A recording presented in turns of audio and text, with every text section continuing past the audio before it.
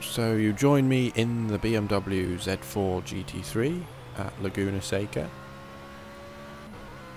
I'm just doing a few laps to talk you through what it's like in the DK2. Taking it very tentatively as the tyres haven't come up to temperature. I should point out that the Motec display is actually very clear. You can lean in closer to read it even clearer, but it's fine from the normal seating position. You can see your split times, your lap times, whatever. I don't feel like I'm missing a heads-up display, but it would be useful sometimes to see other players' positions and stuff. Also worth pointing out that what you see here zoomed in, um, there's actually a lot more vertical peripheral view. When you talk about peripheral view in Sims, you're usually talking about the left and right, but actually up and down, being able to see particularly uh, your body, the, the full steering wheel in front of you.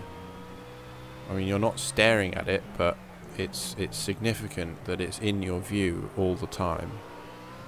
You, feel much more grounded in in the environment, and it helps to gauge the the width of the car. You just feel like you're in a car. So uh, placing the the car accurately on the track is is very easy. He says, um, taking too much curb there. Any mistake is just showing my incompetence rather than a flaw in the DK2.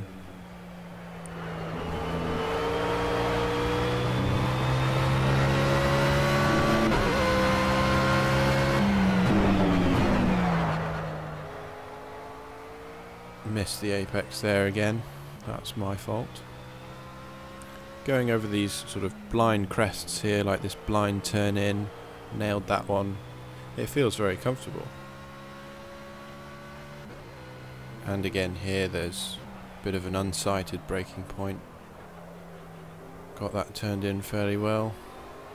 Going down the corkscrew feels pretty nice in VR. It's not quite like a roller coaster, but you do get that slight sensation of a change in altitude there. Elevation, I should say.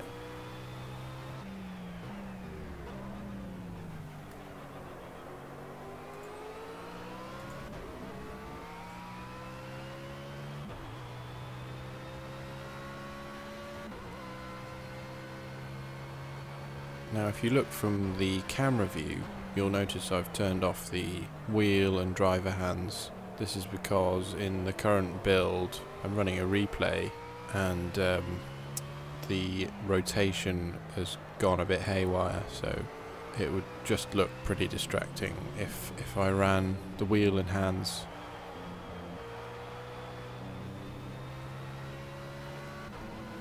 if you saw that slight head movement downwards, that was me actually glancing at the Motec there to get the split time.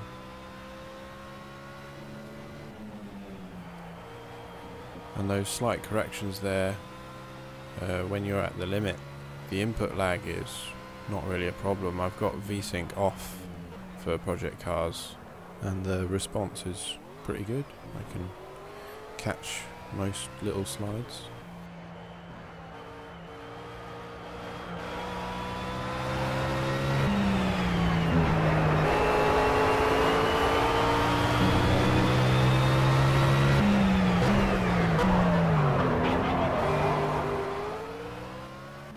Alright, one more lap now that the tyres are reasonably warm. But I won't talk over this one.